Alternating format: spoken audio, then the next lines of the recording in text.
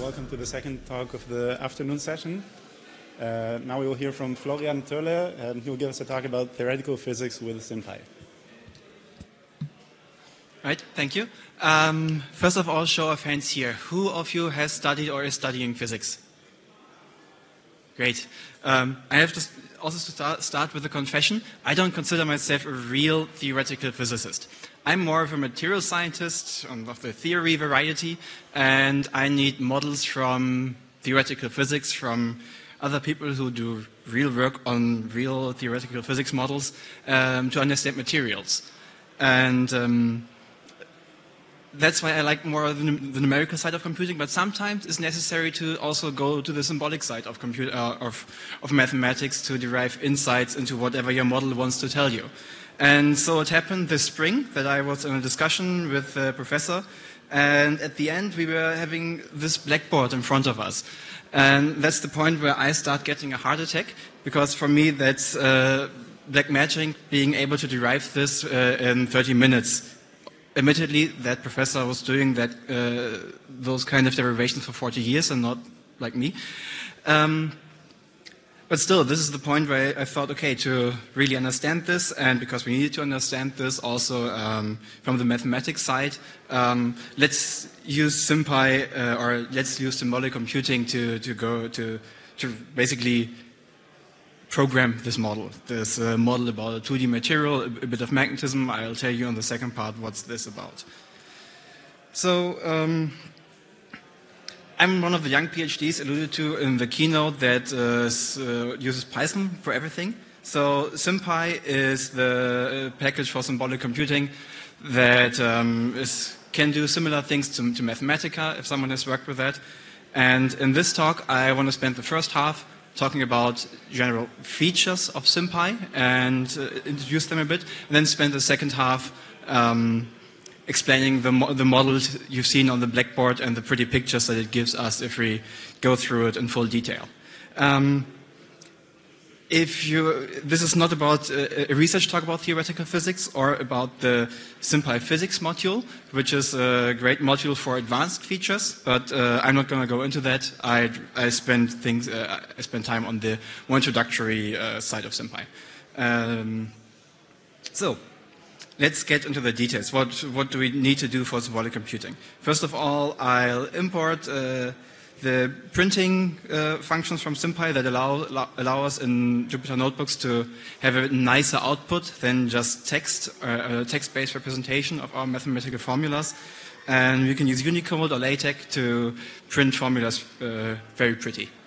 So, if people, if anyone has used Mathematica, um, you know that there's a difference between variables in the programming sense and variables in the mathematical sense, or symbolic variables.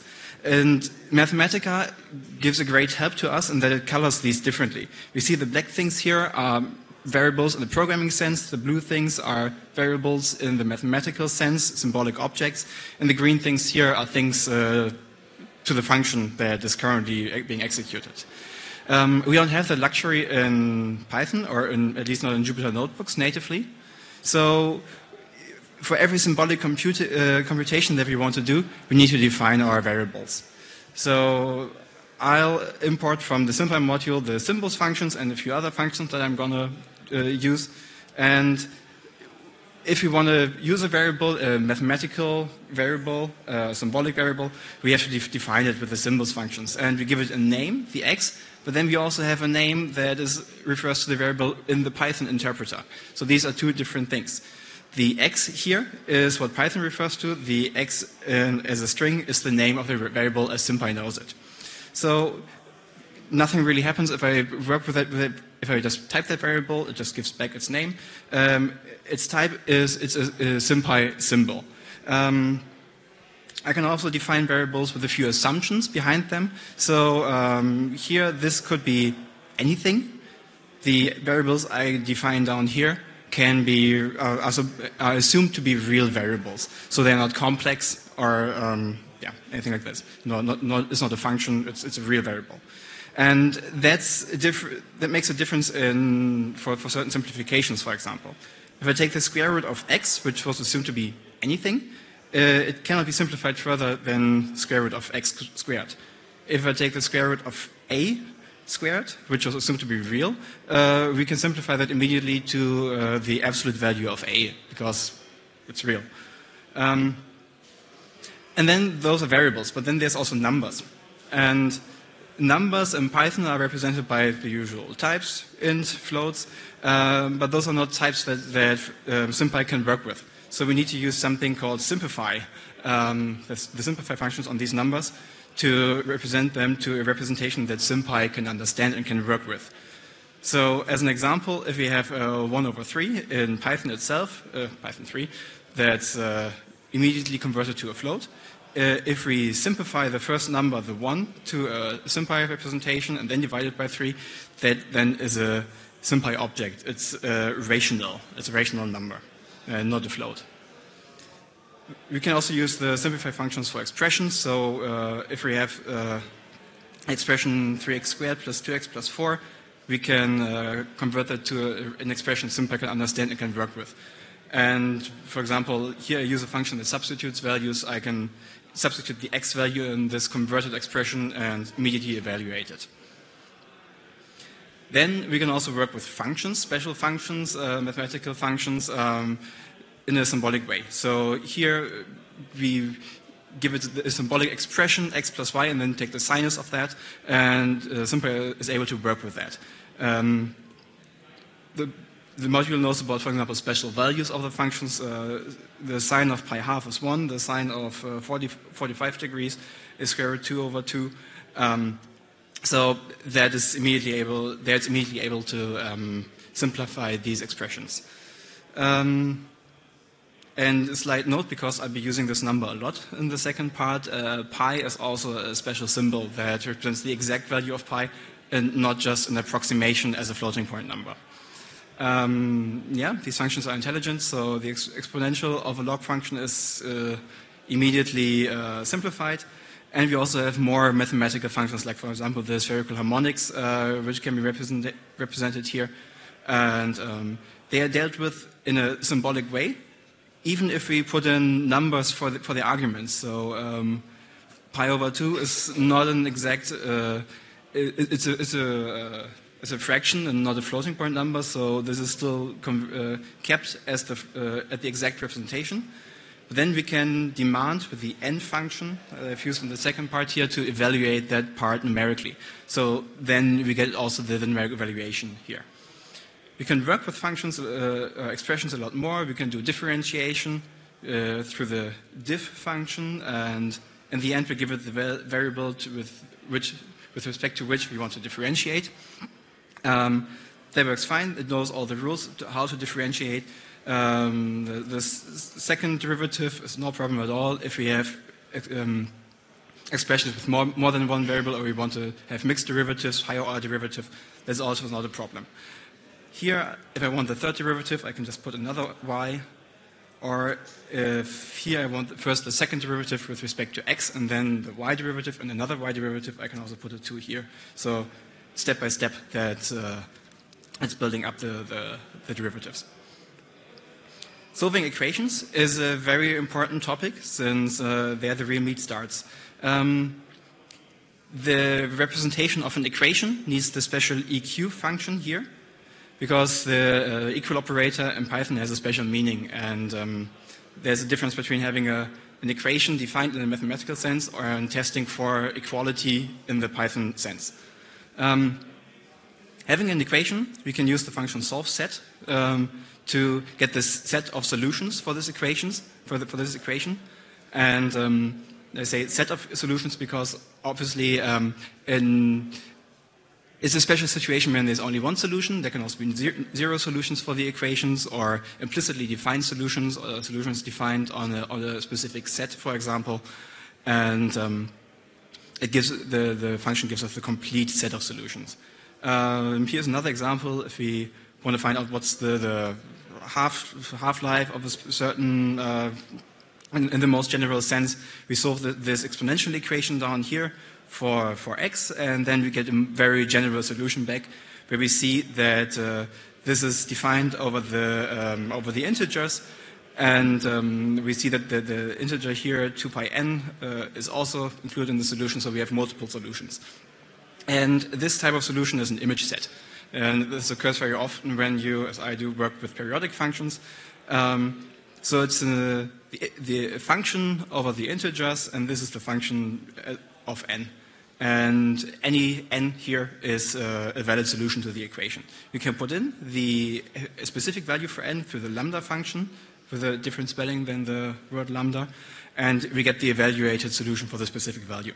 And this is even quite general because a and b might be complex numbers, so um, this is very, really the, the, general solution. Um, there's also, I'm going here through a few basic things that I think are, are very necessary for, for working with it in, in, in physics in my models. So um, here are ordinary differ differential equations.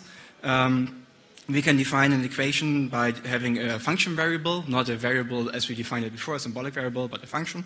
Um, the derivative here is not evaluated because, well, how, how can it? Um, we can solve this, this differential equation. In this case, it's rather simple. Uh, the derivative is zero, then the solution is a constant function. Um, and the C1 here are the constants of integration in, in this differential equation. Taking a more complex example, a harmonic oscillator with damping, um, we see a more complex solution. And here we can even put in a, a, a different function of, of our variable x to, uh, into the function, and then the solution in all generality will, have, uh, will also depend on this function. So no problem having that not only symbolic uh, or symbols in it. Um, now, looking at this here already makes me frown a bit uh, at this solution down here for the driven harmonic oscillator. Um, and that, that's where rewriting these kind of solutions or these kind of terms comes in. So there's something called common sub-expressions, uh, CSE, and this allows us to um, find common sub-expressions in complex terms. And here, for example, it simplified everything to a uh, sum of two exponentials, e plus x, e plus x, and then here's a plus and minus difference. And in the driven harmonic oscillator case, for example, this allows us to not be overwhelmed by the mathematics, but see the structure of, this, of the solution. Here we have two terms that correspond to the exp exponentials, um, and with a bit of insight, one might realize immediately that in certain cases this, this becomes the oscillatory part of the oscillator, and here we have the uh, integrals over the, the driving functions. Um, so this allows us to uh, get an overview of what is actually happening in our mathematics.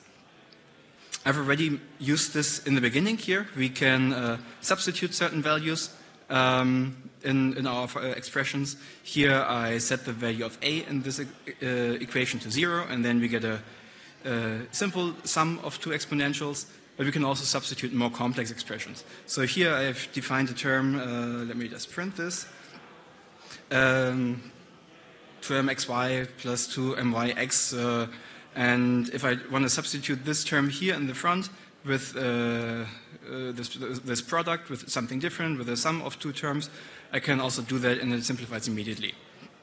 Mm. Then on the topic of simplification, um, if I just put something uh, sine squared plus cosine squared there, um, you might know this is 1. This doesn't simplify immediately, but if we use the simplify function, we get the, the um, simple solution um, for, for this term. On the opposite side, we can also expand something when uh, there, there might be a, a, another way to show this. Here, um, I'm expanding uh, the, the function with the expand trig function, so it knows about the additive uh, laws for, for sine and cosine and so on. Then the, the last part of these introductory steps that uh, I want to introduce for, for my model later are uh, vectors and matrices. For matri matrices really represent the what, what, in the programming world we might know more as arrays. Um, but they support all the mathematical functions here. I've defined an antisymmetric matrix here with, with, symbols in it. I can take the transpose, get the determinant, get the trace, all the linear, linear algebra that you might want to do. Uh, invert or uh, here after simplification and multiplying by the determinant, we see that the inverse of the, this antisymmetric 2 by 2 matrix is actually pretty simple. Um, get eigenvalues, get eigenvectors, diagonalize the matrix. That is the standard linear algebra stuff, and you could, could, also do further uh, other decompositions, QR decomposition, and so on of matrices. Um, matrix multiplication works uh, very easily. You just multiply the two matrix objects as you uh, would want to do. There's no need to call special functions, but there's also, also a dot function to take a dot product uh, with a general vector with, with a matrix.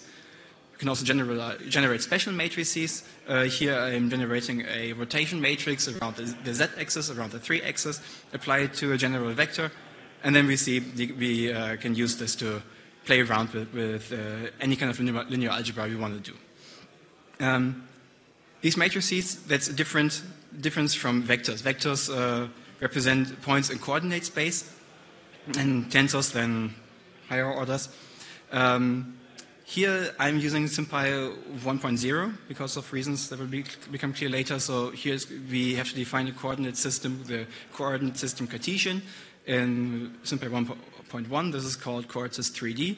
And in this coordinate system, we can then have access to the, the, the, basis vectors and can work with these basis vectors, can take dot products here cross products. Um, but we can also work with the coordinate vectors in this system. So we can define vector fields or scalar fields uh, with, the, with the coordinate vectors, with the xy vectors, and use um, differential operators, for example, on these fields so here I immediately get the, the gradient um, of the, so the, the, del the, yeah, the del operator applied to this uh, scalar field gives me the gradient. And here, in the first step, is not evaluated, but just symbolically given to me. But when I use this doit function, which sometimes comes in handy, the um, derivatives are evaluated. So these are kind of the basic um, things that you can play with and the basic building blocks for, for uh, more complex things.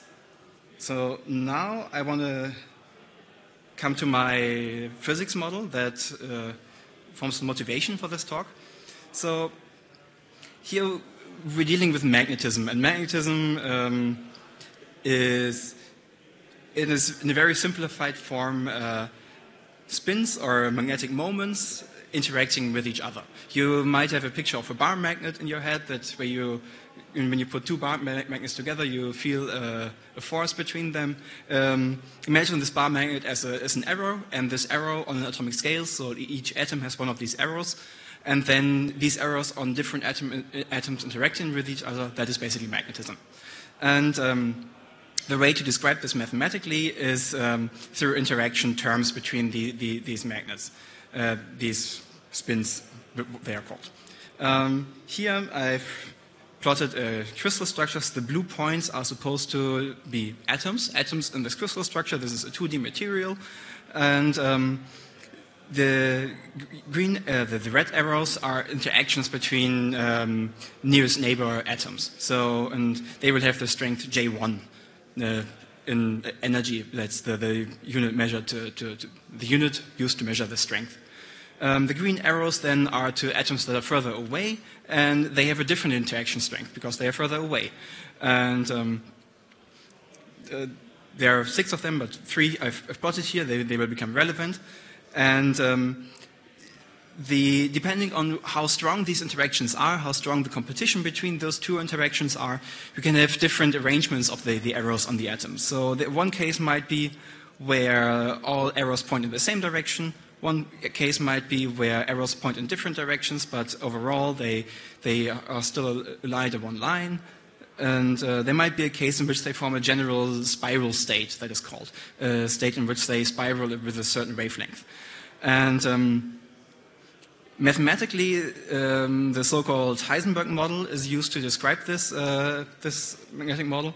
And the solutions the, are the arrangements of spins S1 and S2 here, or Si in general, um, that will determine what is the ground state of the system. This H here is the energy, and we want uh, to find, for, for certain values of J1 and J2, we want to find the values of the spins, the Si, that minimize this, this energy, this H value. And um, we can use something that is called a spiral ansatz, um, where we sum up inter interaction terms over the nearest neighbor atoms with a factor I, exponential of IQR plus possibly a, phase value. And the Q is what describes the order up here, and the RI value is the position of each atom. So um, we can model that with, with, with SymPy. So here I start off, I define a coordinate system um, from, for my vectors. Um, here I have uh, the three different basis vectors for the nearest neighbor atoms. Here I have the three different uh, basis vectors for the next nearest neighbor atoms. And then here I can write down the energy term. So th this is a sum of three cosines for the first one. For the first uh, J1 interaction, here I write down a term for the next nearest neighbor interactions, the, the, um, the second shell basically. And here I've also included this interaction strength J1, uh, J2. Notice I haven't really put the J1 here because that's, uh, we take everything relative to this. And we also have a phase value in here that uh, will give us a lot of trouble, but that's important to keep uh, to, for the description of the system. So at each value of q, we need the, to minimize with respect to this phase, to this phi. So what, what do we do? We take the, the derivative, we get everything, uh, all the terms that don't depend, uh, that do depend on phi, um, and now we solve, uh, we set this to zero and solve this, this equation. Um, and there the trouble, starts. So here, because these are sinus terms, or uh, cosine terms, uh, it has to be periodic with respect to 2 pi. Um, and we see that in our equation here. There's a 2 n pi in here. And um, we have two solutions for each value of n. Um, we see this because the resulting set, the type of the set is a union, so both of these are solutions. I can use the args function of the set to tease apart the, the two parts of the union, and I get back two image sets, so something we have seen before. So for each of these image, image sets, I can then evaluate this for a specific value of n. I take, just take zero because, well, fine enough, any value is, uh, is valid. And uh, we see that it's still a very complex expression.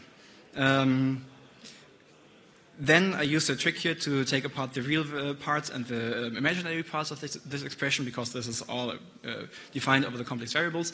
But still, um, intuition should tell us that the imaginary parts are not important because we, we only dealt with real, real variables before and there should be a minimum for uh, real variables. And here I have those real parts and here I need to start working with numerical solutions to get an insight of what is actually happening. Um, to do that, we can use something called lambdify. And lambdify um, is a function that takes a SymPy expression and makes out of it a function that we can numerically evaluate fast. So we could also substitute numbers for, for all terms, but that's not a, fast solution. If we want to evaluate a function multiple times, we should use lambdify to make a real function out of it.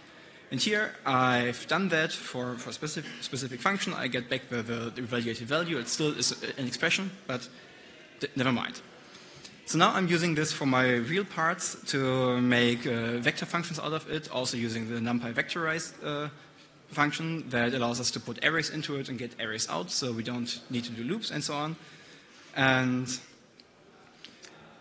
let's, we can evaluate these, these derivatives now. So for our two solutions here, we get two different plots, um, shown here and here, but we don't know whether they're minima and maxima. So we have to do a second derivative test. This is the second derivative here. I'm not showing this in detail anymore, but we see that some parts of our solution correspond to a minimum, some parts correspond to a maximum. they Are, uh, the second derivative is positive or negative, so we have to combine our solutions for the real end result. Now let's put this all together. Here we define a function that takes the, uh, the input parameters, computes the phase, um, and gives back the, the right phase value corresponding to the minimum. And then we get this nice psychedelic plot here of the, the combined phases. Um, we can insert this now into the energy function that we've defined in the beginning, get numerical results out of here, and then uh, we would have our energy, for example, as a function of J2, or if we insert a, a specific value, also um, a numeric value for the energy, uh, for the minimum energy at this point. So now, let me skip over this we can make a 2D plot over the Sol domain and calculate this for several, several different values of our interaction strength, and we get back these plots here in the beginning. And these are plots over the whole Q space the, that defines which form of magnetism we have, and the minimum in this Q space will then tell us what is the actual magnetic order. And here we see that at low interaction strength, we have the, these dots here at the center at Q equals zero, at a specific value that we can also derive analytically 1 over 6. We get a broad max, uh, minimum here. And then from there on, we get these circular shaped regions at, q not equal to 0 that correspond to the minima in our system. And if we increase our interaction strength, J2, we also get uh, different shapes. So from the circular pattern at the end, this changes to um, like triangular patterns and these kind of pockets we see here. So we see that depending on the interaction strength in this magnetic system, um, there can be different shapes or different magnetic ground states. And this was all done symbolically up until to the end, where we need to evaluate this, of course, to generate these plots. And then this was published in the 70s already, this model, but you can easily extend that for more general or more relevant uh, problems to, to, your own work, like I did. Um, so that's basically it. Thank you for your attention.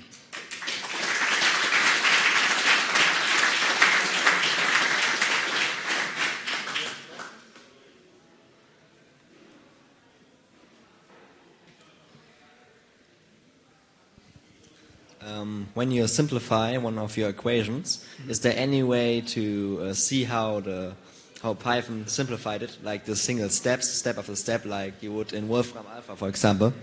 Um, I'm not sure. I think there are quite complex algorithms underlying the simplification. I wouldn't know at the moment how to get them. Sorry. Okay.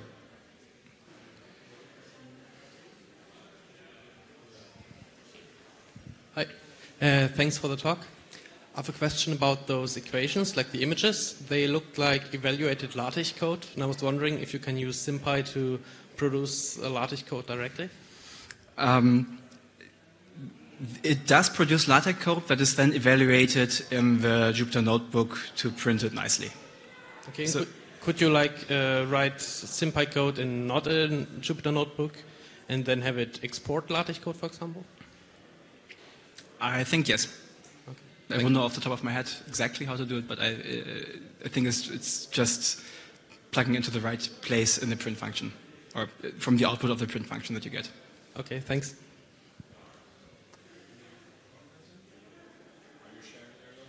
Yep, it's online. Um, it's on my GitHub. This is the long link, this is the short link.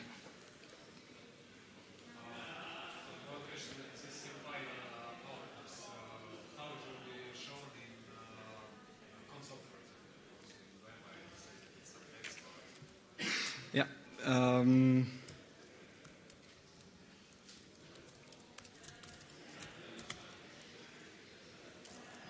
um, it shows the, the, symbols in a quite complicated form. Uh,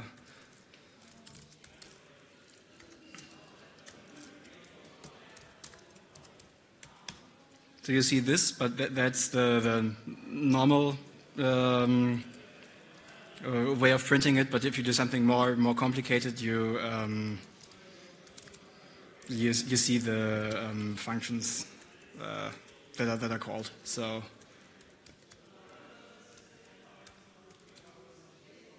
Oh, that doesn't turn out as I wanted to.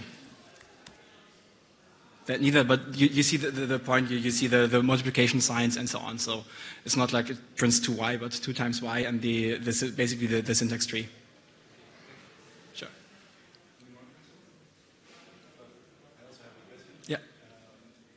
So did you ever use it for covariant mathematics, if you want to have Lorentz invariant expressions? Um, I personally didn't use it for that case because that's not the kind of mathematics I deal with.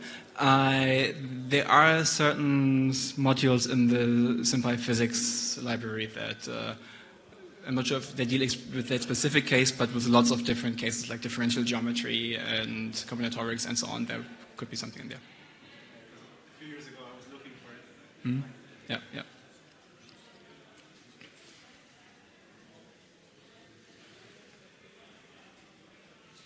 Yeah. Um, can you directly plot from SymPy, or do you have to numerically evaluate and then uh, plot the numerics just with Matplotlib? You can directly plot from SymPy, and it's quite invariant to um, the, the underlying plotting uh, backend. So let me use the anyhow. Um, there are plot functions within SymPy that you can directly call, and they plot a function in the range that you specify, and so on. 1D plots, 2D plots, all works.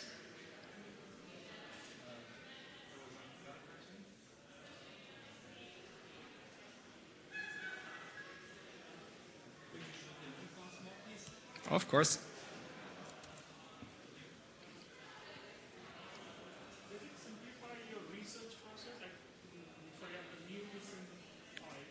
Yeah.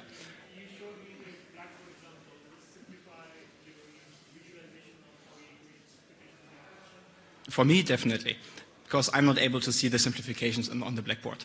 Um, especially because I don't want to. my main work is not to deal with the symbolic part, but rather with the uh, applications to materials. So, for me, it helps a lot to, to have this uh, this symbolic computing and the also the, the direct link to the numerics in Python is for me a very po powerful part because I don't need to derive something and then go back and write a separate imp implementation numerically in, in, Python to do the same thing again, but I can directly get the functions evaluated.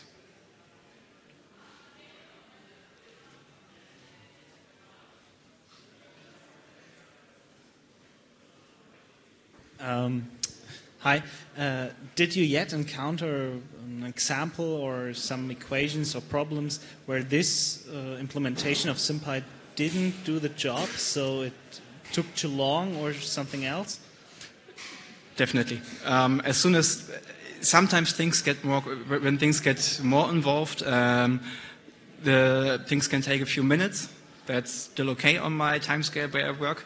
Sometimes I think things could take for years, uh, could take days, uh, but then some like simplification isn't really useful anyhow. Then it's more, more work to manually look into it. Could you give a specific ex example? Um, specific examples. I think if I added, uh, in, in, my case here, if I add uh, well, it's in the different slide. Like two or three more layers, and I get the uh, 15 more terms, and the derivative contains more terms, and so on.